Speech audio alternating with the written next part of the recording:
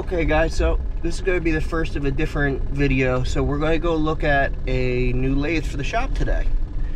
So this is a Fortune lathe. Um, it's a 2040, so 20 inch swing, 40 inch in Z. Does metric threading, standard threading, which is something that all my lathes are American.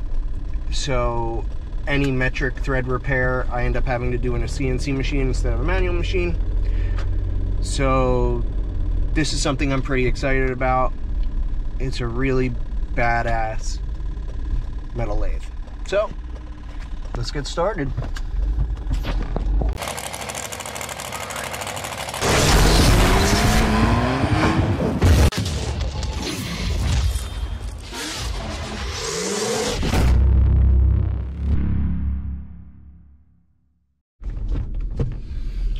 So for the people that don't know me, um, I've been a machinist basically my whole life. Um, my father designed uh, numerical control machines, you know, in the 50s, 60s, 70s. Um, so it's what, you know, gave me the love for equipment and stuff like that. So one cool thing in this video, not only are we going to go pick up a new lathe that I've wanted for years, um, one of the machines that he designed the tool changer for is actually at this building. It's an old Hilliard machine. So I'm going to show you that. Um, and show you how you move some heavy equipment um, with not so heavy stuff. So in the car in front of me is my buddy John in the wrecker. So we're going to put the flatbed, we're going to put the lathe on that wrecker. We're going to pull it off with bars and skates and get it in the shop.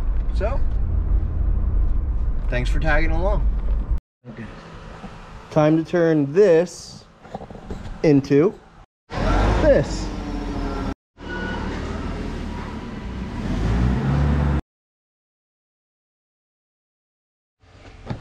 So here we go. We just loaded up the lathe. Lathe's on the truck. I want to show this. This is cool. Um, so this machine right here is a Hillier mill. So this tool changer, um, my father who has passed away in the past few years, he actually designed this, you know, years ago. So for you, people that don't know me, you know, I've been in the machine machining industry my whole life. Um, my father designed equipment for NASA, Hillier, the Air Force. Um, it's pretty cool. You know, when he was younger, uh, he built a bunch of machinery that helped build the Apollo and Gemini space shuttle. Um, some of the equipment that helped build the Sidewinder and Weasel, I believe, um, missiles, um, and you know all different types of um, numerical control machines. He was one of the innovators in numerical control. Um, the machines that you know predated CNC. Um, so you know, but this is one of the machines that he had built years ago. So I just thought it was pretty neat to see it you know you can see the old controls. Um, this machine's still running you know a large table. So obviously this is just at the company that I'm buying the other machine but just wanted to show you. You guys can see some of the other equipment this guy has. It's a pretty badass shop. So you know different saws lathe a mill that I'm looking at. So this is a nice big boy 50 taper mill. Collet lathe another CNC lathe. Mill. So let's get this thing on the road and to the house. Your address so for all the engines I built for you you happy different house. this, this is all that like, ah, don't worry about it. I'll take care of this one. Can I close this? Yeah. Yeah. Yeah? Yeah, you're All right, good. Safe trip, guys. Thanks, have a All good right. All right, take care. All right, time to get on the road with this big bitch. Back in the truck, behind the tow truck. On the way back to the shop.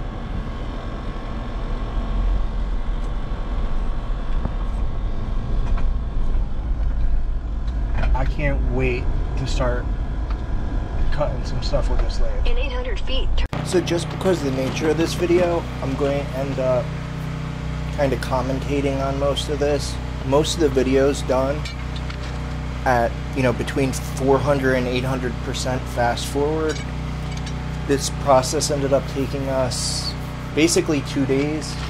So the first day we picked up the machine and moved it into a little outdoor carport I have. The second day we moved it into the shop just because time. Also, we had just had a kind of surprise hurricane which took down tons of trees in our area. So we were without power for know, I think it was five days, five or six days. So you can hear the generators in the background.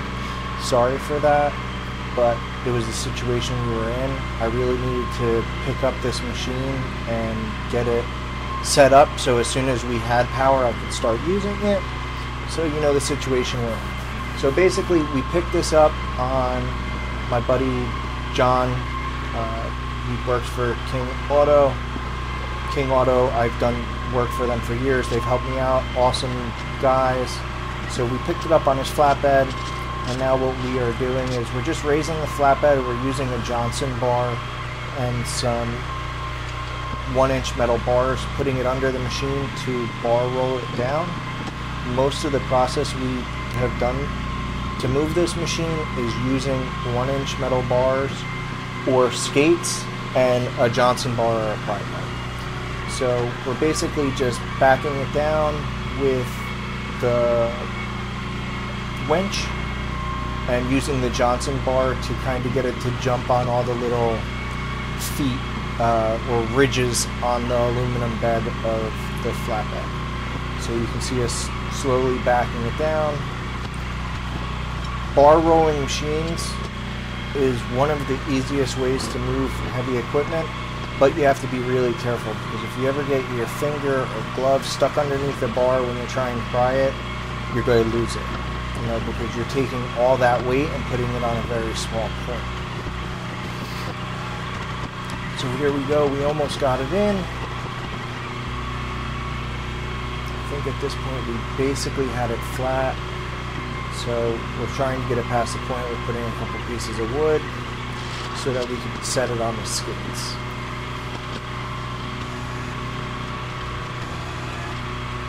So, and then one thing I do is I use one inch solid bar for the most part, but depending on the weight of the machine, you can even use PVC. A lot of times I use two inch PVC. You know, you can move uh, 2,000 pounds on a couple pieces of PVC, which is kind of surprising. This machine, though, was, I believe, 6,000 pounds, so you got to be kind of careful. And lathes are really dangerous to move because they're top heavy, and although they're long, they're narrow, so it's very easy to tip them over, and God forbid if that happened, it would be terrible.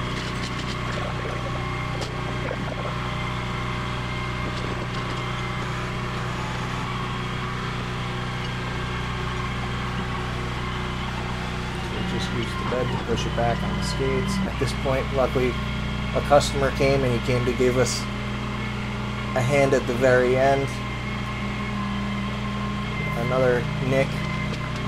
So he came to drop off a manifold that I had to repair for him. Can see the manifold there.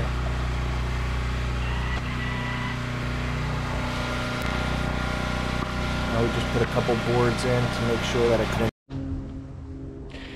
all right, so here we go. This is day two.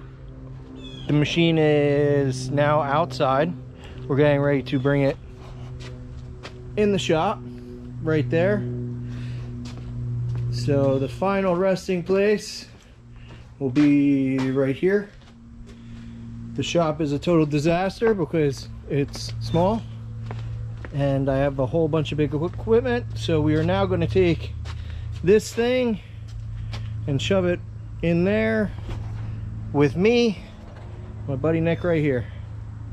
So hopefully by the end of this, we all still have our fingers and the machine's not laying on its side. So let's get started.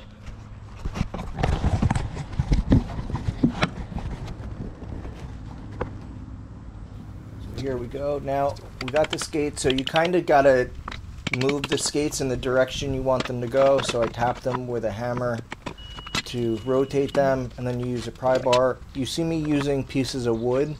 Those pieces of wood are just to make sure if it comes off a skate, the machine doesn't fall sideways, as I was saying earlier. There's the Johnson bar, which is basically a long pry bar on wheels. The other issue we were having this whole time is it was really hot outside and the machine was heavy, so if you let it sit for more than, you know, 30 seconds or a minute, the skate started sinking into the asphalt.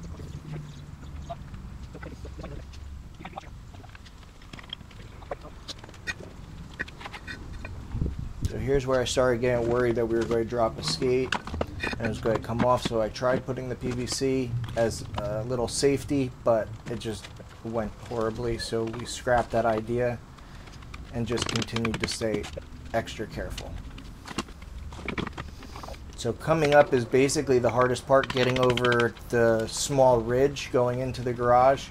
And at that point, we basically took the skates off and went on onto bars. So, which made up for the height difference basically. So going onto a one inch bar inside the garage was almost the same height as the skate on the outside, which made it work pretty easily. So, and this is my buddy Nick that helped with a lot of this move. So, which I'm super grateful. So, and this is just using the Johnson bar to slightly pry it up. You can see the one inch bars underneath the machine. Slow and steady wins the race.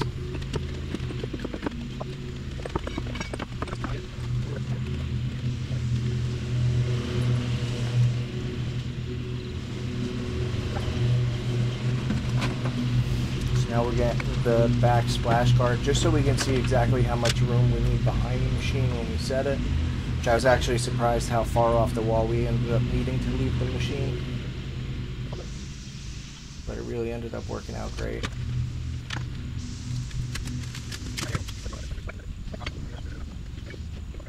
So here, Johnny and Timmy came over. They helped us the last leg of the way. So we're mounting the back splash guard so we can see exactly where the machine has to sit.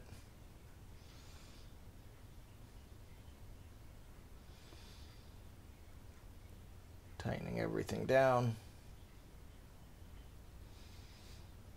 Now getting ready to move it into its final resting place.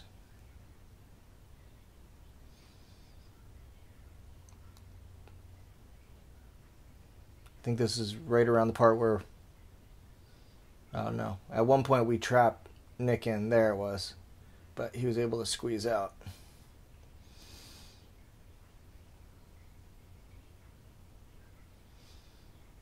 And that's basically it. Here we go. So we got it all set up now. It's up and running. Been machining heads and flywheels on it already. I love the machine. So there's going to be a couple other videos that I do on this machine. You know, unfortunately, this video has taken a while for me to put out. So you've actually seen the 5C collet video that I've already done on this lathe. Just been super busy and haven't had time to edit the videos. So I'm either going to make some type of stand for my CA holders, you know, which I have a bunch. They're not all here. So I'm either going to put a shelf up here or I know there's a guy on eBay that sells one that mounts to the back of the machine. So I don't know if I'm going to buy it or make it. If for some reason that guy's watching my video or you know anybody that makes something like that, let them get in contact with me. Uh, I need one. And I, I don't have a problem paying for it. So that I'm going to end up doing. I'm also getting ready to do a DRO video on my Van Norman milling machine. So I'm thinking about upgrading this one to also having the tailstock have a scale on it and maybe doing a scale on the compound, but the compound most likely will be like an individual scale, almost like a caliper. So, but other than that, you know, this is the lathe. I want to thank Nick, Timmy, Johnny, um, my buddy John from King Auto that helped me pick it up with the rigger. I couldn't have moved this machine without everybody's help. It shows what you can do with just a couple guys and, you know, a couple pieces of steel and a pry bar. So, like always, please like, share, and subscribe the video. Greatly appreciated. You guys have a good day. Thanks for watching.